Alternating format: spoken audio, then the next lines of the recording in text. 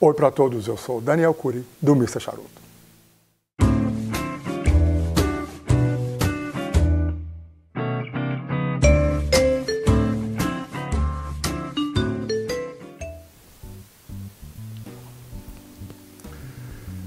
Eu tenho certeza que todo mundo já se perguntou, já ouviu essa resposta, essa pergunta, que é o seguinte: e se os charutos cubanos entrassem no mercado americano? Antes de tentar responder essa pergunta, que é o tema do nosso vídeo de hoje, eu queria agradecer muito ao José Roberto Guzmão pela ajuda e pela provocação, porque ele me incentivou de uma maneira até provocativa assim, a fazer esse vídeo, tratar desse tema e me ajudou muito com as informações jurídicas a respeito dos, das consequências da entrada do charuto, da possível entrada dos charutos cubanos no mercado americano e tudo o que envolve, são vários aspectos, vocês vão ver, uma questão muito complexa e o conhecimento do Guzmão a respeito de conhecimento profissional, que ele é um advogado que trabalha com propriedade intelectual, então ele tem um conhecimento sobre as marcas, sobre as patentes, sobre os direitos e isso foi fundamental, a ajuda dele foi fundamental para criar o conteúdo desse vídeo. Uma outra coisa também que eu queria falar, antes de começar, é que eu vou é, compartilhar com, você alguns, com vocês alguns fatos, eu vou fazer um monte de especulação e eu vou emitir as minhas opiniões.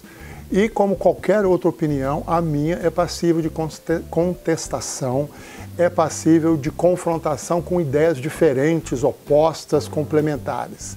E eu queria muito que vocês comentassem, que vocês não se acanhassem, colocassem a opinião de vocês, tornassem a opinião de vocês públicas e compartilhassem com a gente.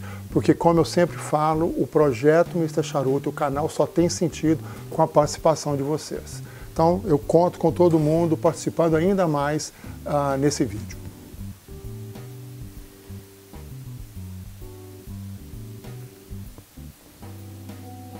Estou fumando aqui um Room 101 Farce em Connecticut, um charuto perfeito para essa ocasião que eu estou tomando café, batendo papo com vocês e fumando, sem ficar prestando muita atenção no que eu estou sentindo, nem nada disso. Então acho que vai ser é um charuto que perfeito para a ocasião.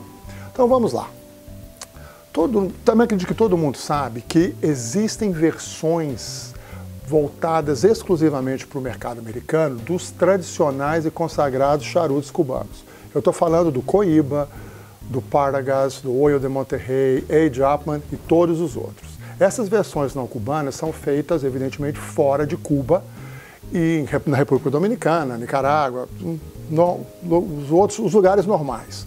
Só que eles têm, existe uma situação curiosa, porque eles têm exatamente o mesmo nome, a mesma marca, dos seus charutos cubanos, seus parentes cubanos originais. E é uma situação curiosa, no mínimo, né? E, a, e, e essa situação foi causada por dois fatos históricos. Primeiro, a Revolução Cubana de 1959 e o segundo, o embargo comercial imposto pelos Estados Unidos contra os produtos cubanos em 1962. Então, antes da gente entrar mais no, no, no cerne da questão, deixar, e para deixar todo mundo no mesmo, no mesmo nível de informação quando chegar esse momento, eu queria falar um pouquinho desses dois uh, eventos históricos e como que eles afetaram os charutos cubanos em relação ao mercado americano. Em 1959 acontece a Revolução Cubana, onde o Fidel Castro tira do poder o Fulgêncio Batista, que mantinha uma relação comercial estreita com os Estados Unidos, uma relação mais do que comercial, na verdade. Mas isso permitiu aos Estados Unidos importar charutos prontos de Cuba e folhas de tabaco que eram usadas pelas empresas daqui na fabricação de charutos também. O Fidel Castro chegando ao poder, o que, que ele faz? Ele expropria a todas as fábricas, as fazendas e as marcas dos seus legítimos donos e torna tudo uma propriedade do Estado. Esses donos, ou ex-donos a essa altura das, dos charutos cubanos, o que, que eles fazem? Eles se exilam em outros países. Eles escolheram primordialmente as Ilhas Canárias, Miami, aqui nos Estados Unidos, e a República Dominicana. E por lá começaram a, a, a tocar sua vida de uma forma a, que eles esperavam que o governo do Fidel Castro fosse muito curto, que eles poderiam voltar rapidamente para Cuba e continuar suas vidas, o que a gente sabe que não aconteceu. Mas mesmo tendo essa expectativa, eles continuam, eles começaram uma atividade de produzir charutos nesses lugares e tudo para gerarem renda, se, se manterem vivos. Né? E tem uma história que eles acabaram depois tendo que vender essas, essas, essas suas marcas para outras empresas mais na frente, depois de 10, 15, 20 anos do, do, do, da Revolução Cubana. E tem uma história curiosa do dono da Oil de Monterrey, e o nome dele é Fernando, era, né? Fernando Palício, que vendeu a marca Oil de Monterrey e Punch no leito de morte por uma bagatela naquela época. Então, foi uma, uma, uma, uma, situação que afetou imensamente esses produtores de charutos cubanos.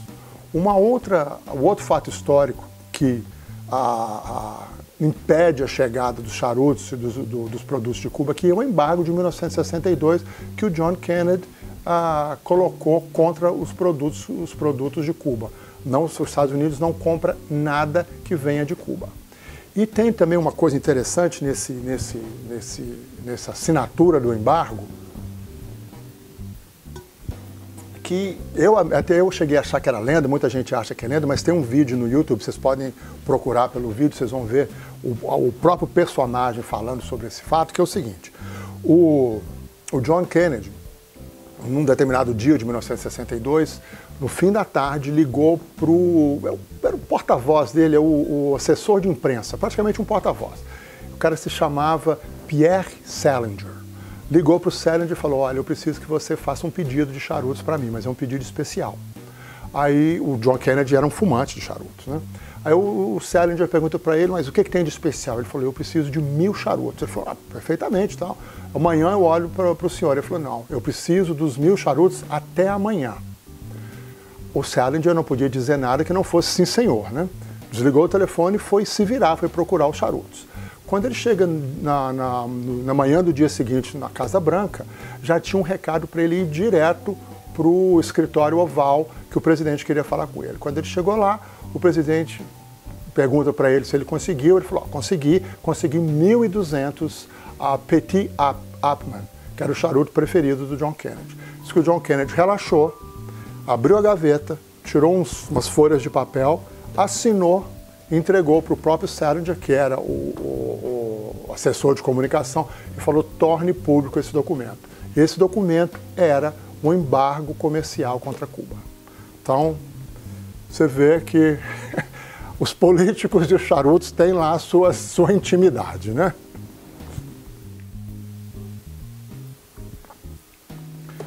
Com esse cenário histórico mais ou menos colocado, a gente pode começar a falar agora das versões não cubanas dos charutos cubanos. As marcas que são as marcas consagradas que têm essas versões feitas para o mercado americano. E elas têm alguns donos hoje em dia. Não é uma pessoa, não é uma empresa que é dona de todas essas marcas, está dividido. Como eu disse, eu usei como exemplo o Oil de Monterrey, algumas outras marcas também venderam das formas mais pessoais, mais singulares possíveis, mas hoje em dia duas empresas, grandes empresas americanas, são as detentoras das marcas. E eu vou falar para vocês aqui quais as empresas, uma chama-se General Cigars e a outra chama Altares ou Altades. A General Cigars ela é proprietária do Coiba, Oil de Monterrey, Punch, La Glória Cubana e Partagas. A Altades é proprietária do Monte Cristo, Romeu e Julieta e Age Upman. Essas ah, duas empresas, a coisa começa a ficar interessante ah, aqui agora.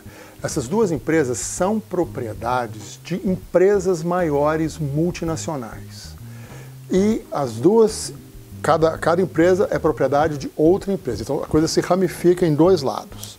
A empresa, existe uma empresa chamada Scandinavian Tobacco Group. Ela é proprietária da General Cigars. E essa Scandinavian, a, a, sede dela é em Copenhagen, na Dinamarca, ela foi fundada em 1961. A outra empresa grande as partes mais altas dessa ramificação, chama-se Imperial Brands e é proprietária da Altadius. Tá certo?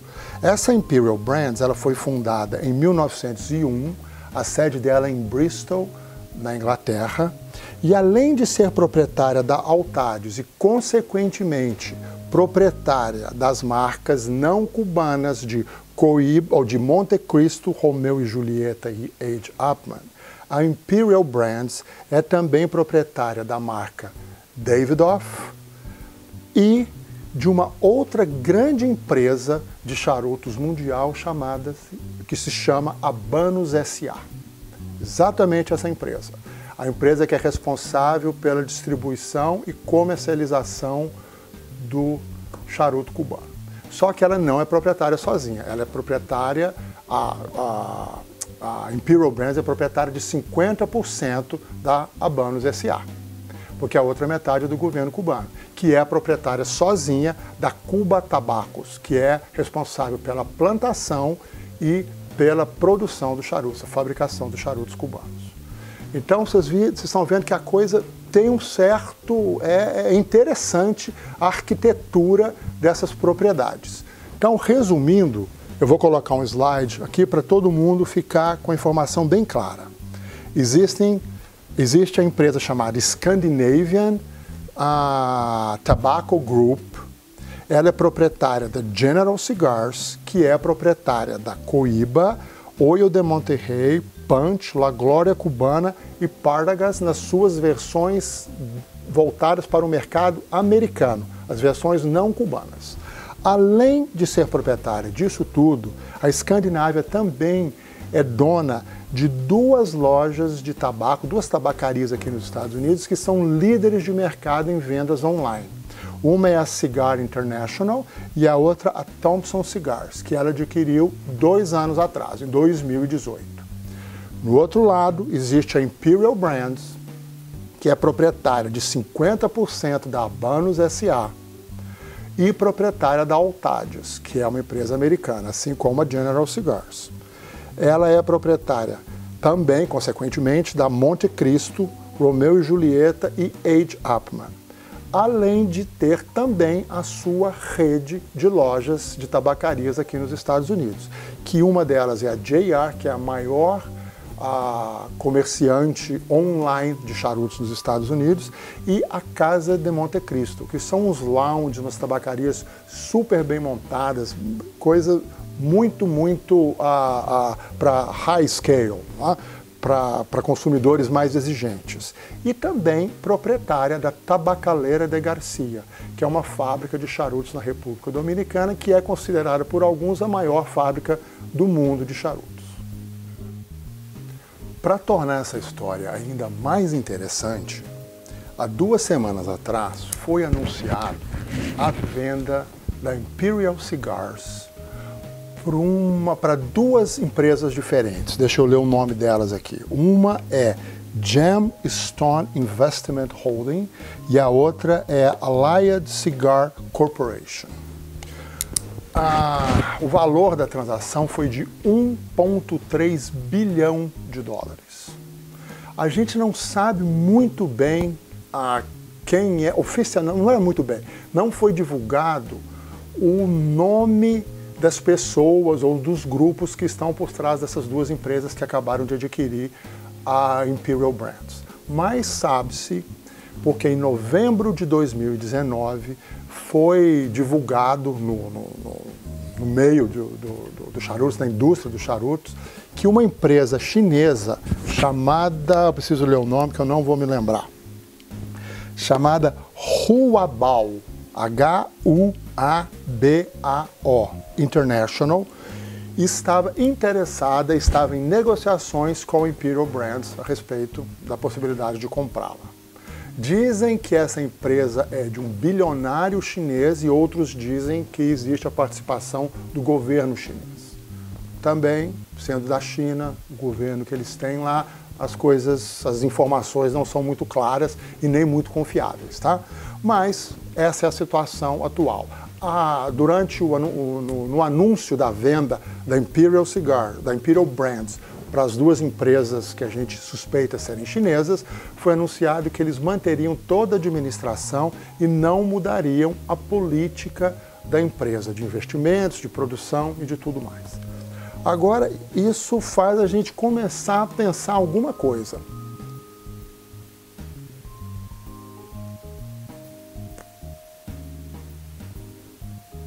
Sabendo que a empresa que pode ser a real proprietária, nova proprietária da Imperial Brands, essa Uabal, ela já atua no mercado de cigarros comuns, cigarros tradicionais e de perfumes em toda a Ásia.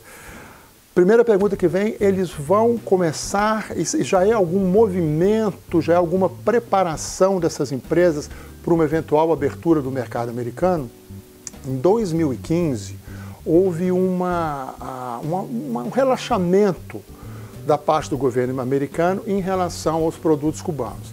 Nenhuma sinalização de que o embargo seria levantado, mas o governo de então, de 2015, permitiu que os, o cidadão americano fosse a Cuba e trouxesse de lá legalmente, através da alfândega, sem problema nenhum, charutos e uh, rum, mas em quantidades modestas para consumo próprio, nada com fins comerciais. Em 2017, o governo americano mudou e essa, essa, esse afrouxamento acabou imediatamente, tudo recrudesceu e ficou fechado como era antes. Mas essa movimentação nos grandes jogadores do, da indústria de tabaco deixam uma, uma, uma, um ponto de interrogação no ar. E a gente pode começar a especular e começar a pensar quais seriam as consequências desses eventuais movimentos calculados aí das grandes empresas Scandinavian e agora não a Imperial Brand que agora tem uma nova um novo proprietário. E se os cubanos entrarem no mercado americano?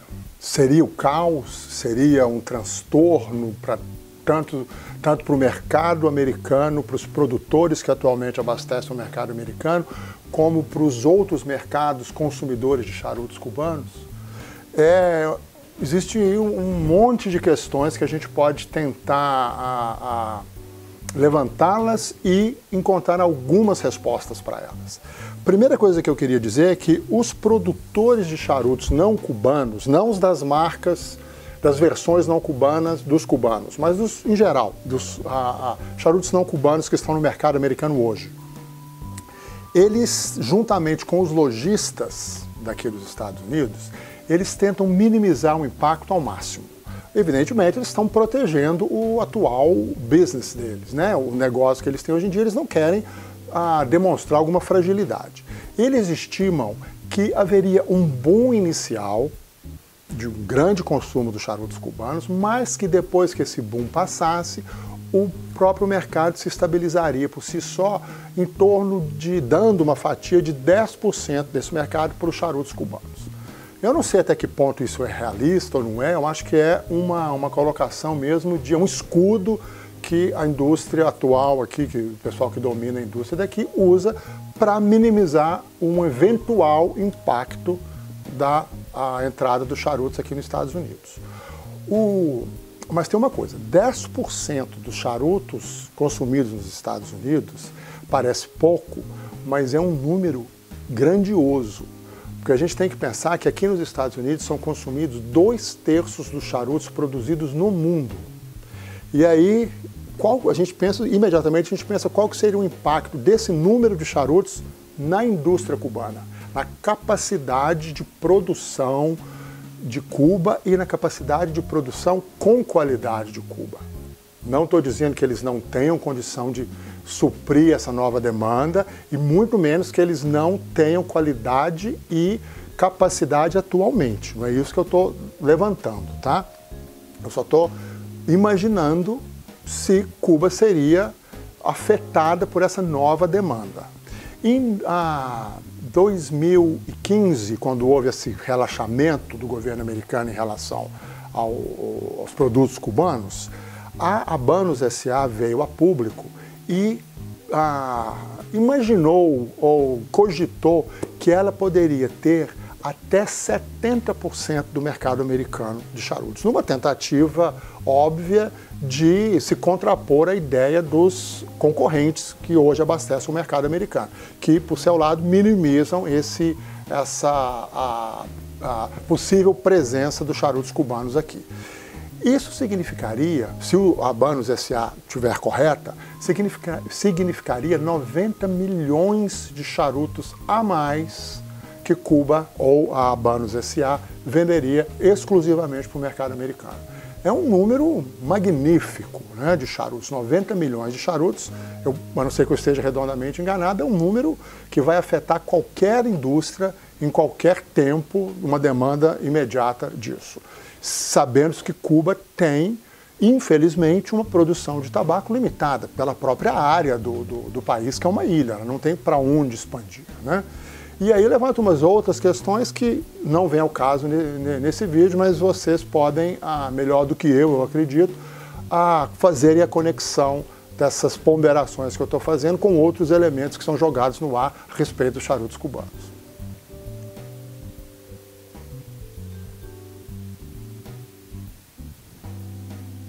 Continuando a, a, a especulação de que os charutos entrem aqui e esses números sejam reais ou a gente sabe que vai haver uma. Um, a, o efeito vai ser grande, vai, ser, vai, vai mudar alguma coisa na, na, na, atual situação que existe, vem aquela pergunta: e o que, que aconteceria com os, os, os mercados de menor a capacidade de compra dos, do, dos produtos cubanos, dos charutos cubanos?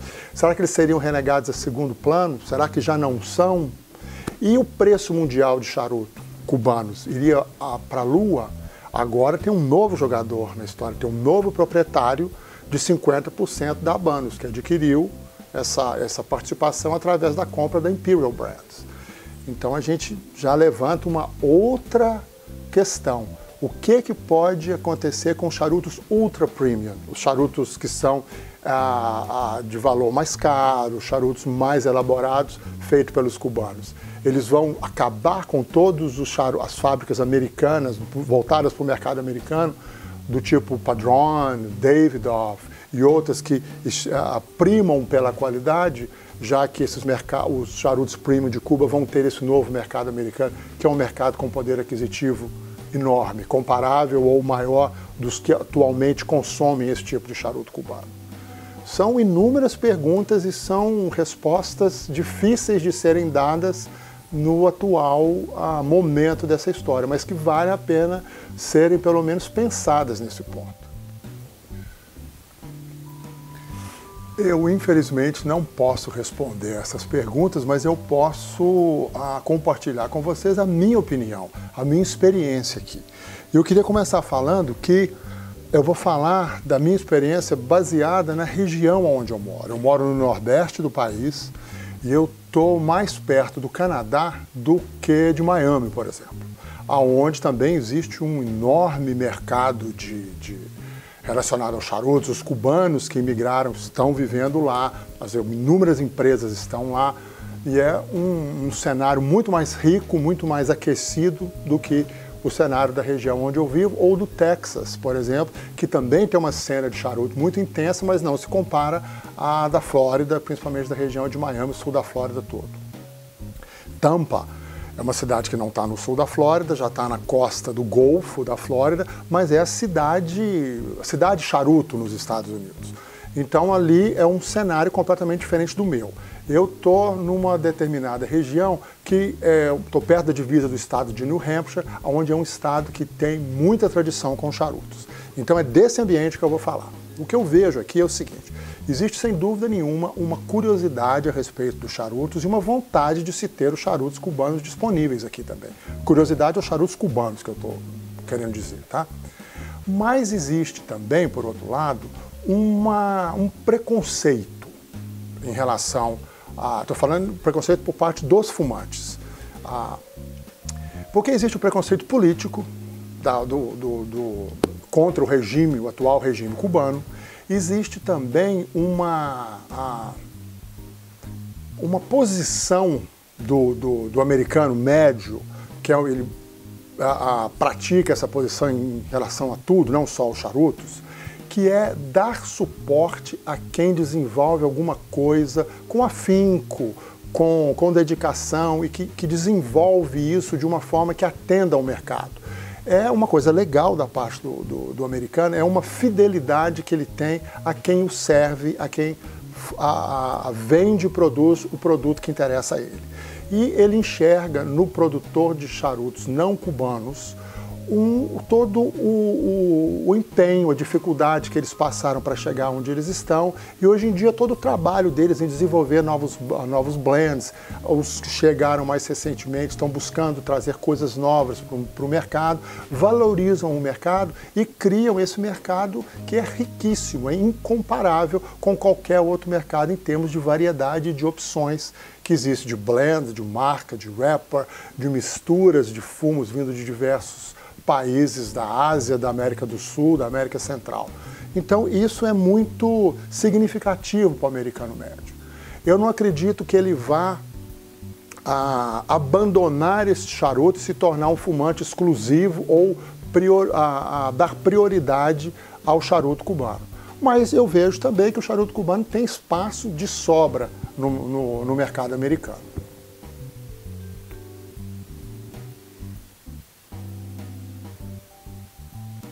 Quando eu falo desse preconceito, ele acaba se materializando no protecionismo, que como eu disse, das lojas e dos produtores, a, a ponto de que um a, a produtor de charutos, o cara é dono de tabacarias e dono de, acho que, três difer marcas diferentes de charutos, que são produzidos na, na, na América Central e em outros países do Caribe, que não Cuba, evidentemente. Em 2015, com essa flexibilização que houve por parte do governo americano em relação aos produtos de Cuba, ele viajou até Cuba e fez um diário de viagem, aonde ele conta a experiência, tudo que ele viu em Cuba a respeito dos charutos. E ele, em bom português, mete o pau nos charutos cubanos. De uma forma deselegante e de uma forma que eu vejo como ah, difícil de acreditar. Ele diz que em Cuba não há nenhuma preocupação com blend, que para ele todos os charutos têm qualquer fumo, não faz diferença qual fumo é usado, que ele não viu nenhum blender, não viu nenhuma pessoa responsável em pensar e em criar as receitas dos charutos. E que os fumos não são envelhecidos e assim ele acaba com os charutos cubanos.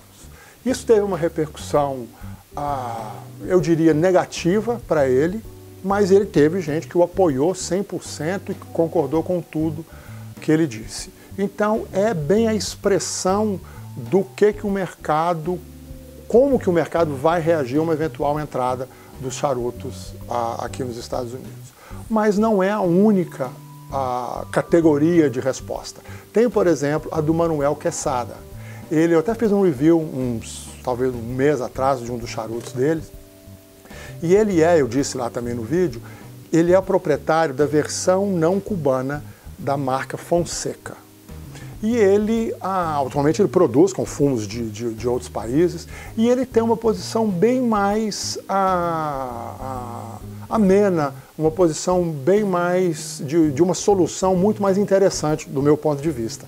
Que ele diz o seguinte, ele acha inevitável que um dia os charutos cubanos entrem nos Estados Unidos, é que ele vai ter um problema de negociação com a Habanos SA, porque ele é detentor da versão da marca dos direitos Fonseca no território americano. E ele imagina, ele queria ou quer que a solução seja ou ele se torne o distribuidor dos Fonsecas de Cuba no mercado americano, exer, exerça o direito de distribuir os cubanos a versão cubana por aqui, ou que a Habano forneça para ele os fumos cubanos para que ele possa fazê-los aqui, uma vez que ele é o proprietário da marca para o mercado americano. É bem mais a, a profícuo essa posição dele do que uma posição de simplesmente rechaçar os charutos cubanos. Eu acho que é bem a, a, a improvável que isso aconteça sem uma guerra jurídica. Porque o americano, o tribunal para os americanos é um lugar maravilhoso, eles adoram fazer guerras nos tribunais e processar uns aos outros e dali levar vantagem. E é sobre isso que eu quero falar no próximo bloco, já dentro de dois cenários, quando eventualmente houver modificações no cenário político de Cuba. Vamos supor que o embargo foi suspenso. Para a Imperial Brands, está muito tranquilo, com uma situação conveniente. Ela é detentora das versões não cubanas e cubanas, vai simplesmente colocar esses dois produtos, é, a, a, integrar os dois produtos, merge os dois, e vai vender no mercado americano o charuto cubano sem problema nenhum, sem ser contestada de maneira nenhuma, já que ela detém a, o direito às duas versões. Mas e a Scandinavian Tobacco? Era detentora, por exemplo, do Monte Cristo. E a Abanos SA, consequentemente, a, a Imperial Brands não vai poder entrar com o Monte Cristo aqui nos Estados Unidos, porque quem tem o direito à marca Monte Cristo aqui é a Scandinavian. Então a Imperial e a Scandinavian vão para uma batalha jurídica ou vão entrar num acordo de alguma forma dividir o mercado, não sei o que vai acontecer, uma vai comprar o direito da outra, o que, que vai acontecer com isso? Esse é o cenário que eu vejo uma guerra jurídica acontecendo. Agora, tem um outro lado também disso tudo, é o outro mercado, o mercado europeu. O mercado europeu, a, a Banos tem o direito a todas as marcas a comercializar os produtos lá. Mas e se a Scandinavian quiser vender o Monte Cristo lá? Isso pode entrar na negociação também a Escandinávia venderia o Monte Cristo versão não cubana no mercado onde ela não pode. Então essa guerra jurídica pode acontecer aqui e também no mercado europeu, no mercado sul-americano, no, nos outros mercados que essas duas empresas ah, querem ah, acessar, querem ter direito de vender seus produtos lá. Não acho novamente que iriam pelo lado da, da, da solução da quesada, mas eu posso estar enganado. Agora, tem um outro dado para acabar de complicar ainda mais essa história. E quando e se o governo cubano cair, a revolução cubana for ah, não mais existir? O que, que vai acontecer? O Estado vai deixar de ser proprietário das empresas de tabaco. Essa empresa de a empresa de distribu a parte de distribuição já é 50% da Imperial Brands e como a Imperial Brands foi vendida, já é 50%, dizem, dos chineses. Como que vai ficar essa história? E os antigos proprietários e os, os herdeiros, na verdade, os proprietários provavelmente todos já morreram, mas e os herdeiros? Eles vão reclamar a propriedade dos seus antepassados, a marca, as fazendas e as fábricas. Isso vai ser direito de quem? Eu acho que aí viria uma outra batalha jurídica em relação a quem é o verdadeiro dono das fábricas que foram expropriadas em 1959. Pelo direito ah, internacional, direito, as leis internacionais, tem que se retornar ao antigo status quo, que significa que os herdeiros são, seriam os proprietários de todos os bens que foram expropriados no passado.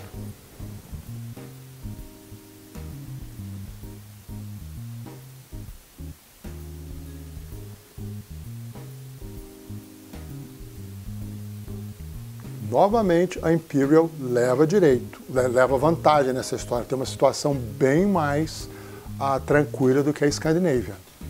Também não sei como que isso vai acontecer, porque a, a, a Imperial é a atual detentora do, do, dos direitos e já está ali, né? Ela já faz parte do negócio dos charutos cubanos. Então todos os movimentos vão ser feitos pensando no benefício da Imperial, obviamente, que é a atual a dona de 50% da distribuição. Agora, o que, que aconteceria com o Coíba e o Trinidad, por exemplo? Essas marcas não foram expropriadas de ninguém, elas foram criadas pelo governo cubano. E elas também têm versões dentro do mercado americano essas, a, a, segundo o direito, elas deveriam ser canceladas, essas marcas, porque elas não têm nenhum. É, é uma apropriação de uma marca que existe em outro país. É como se alguém aqui nos Estados Unidos resolvesse fabricar um, uma palha de aço chamada Bombril. é uma marca regional, uma marca brasileira. Pode até ser que o dono da Bombril não seja uma empresa a, a brasileira, e eu estou usando um exemplo que não, que não cabe, mas tirando esse detalhe, que não é um detalhe, é mais ou menos essa situação. Ou então uma marca local a, do Brasil ser repetida aqui nos Estados Unidos e alguém e o dono dela aqui nos Estados Unidos a, ter a intenção de vender no Brasil. Não é permitido. Então a mesma coisa vai acontecer com a marca Coíba e com a marca Trinidad. Então é muito. Ah, eu não trouxe meu canivete, eu vou ter problema para tirar essa benta. É muito complexo, é muito. Ah, consegui. É muito ah, difícil prever qual será o fim e qual será a solução encontrada para todas essas variáveis, todos esses interesses. Porque a gente tem aí grandes jogadores, é um poder financeiro muito grande por trás disso, é muita grana envolvida e muitas uh, um, um, movimento errado pode destruir uma empresa totalmente, pode destruir um setor uh, uh, da, da, da, dessa empresa, um investimento milionário vai ser perdido. E eu gosto de lembrar também que esses, esses grandes movimentos vão afetar a nós, fumantes, que não temos participação nenhuma, não temos poder nenhum para decidir e para uh, escolher qual o caminho que deve ser seguido nesse para esse ou para aquela questão. A gente vai, a gente consome, a gente é que sustenta esse mercado, a gente quer na verdade, como enquanto fumantes, apenas esquecendo todos os, os, interesses dos distribuidores, das lojas e dos promotores dessas lojas, apenas como fumante, que é o que a gente é, a gente quer fumar o melhor possível, a gente quer ter todas as opções disponíveis, quanto mais tiver, melhor, quanto mais concorrência tiver no mercado, melhor para a gente. E aí vem uma pergunta muito legal, que quem colocou na mesa essa pergunta foi o José Roberto Guzmão, será que vai haver, se acabar o embargo, uma nova raça de charutos? Que vai misturar os fumos de todos os países. A gente pode ter um blend com fumos cubanos, fumos nicaragüenses, dominicanos e brasileiros, e talvez também da Ásia, de Sumatra. Já imaginaram essa possibilidade? Como que seria interessante haver essa, a, a, essa modificação no cenário dos charutos? Como que a gente seria beneficiado por isso? Mas até chegar nisso tem tantos... A, a, passos a serem dados e são passos tão difíceis de chegar a uma, uma, um termo de acordo entre as inúmeras partes envolvidas que eu acho que provavelmente a gente não vai ver isso acontecer. A não ser que ocorra uma, uma, uma mudança muito drástica de direção. Mas que seria muito legal, seria. Então, eu quero agradecer a todo mundo por terem assistido esse vídeo falatório que eu fiz hoje. Não falei nada de um charuto, mas falei dos charutos, enfim. E espero que a gente tenha a oportunidade de nos encontrar novamente e que até lá vocês fumem muito bem. Obrigado.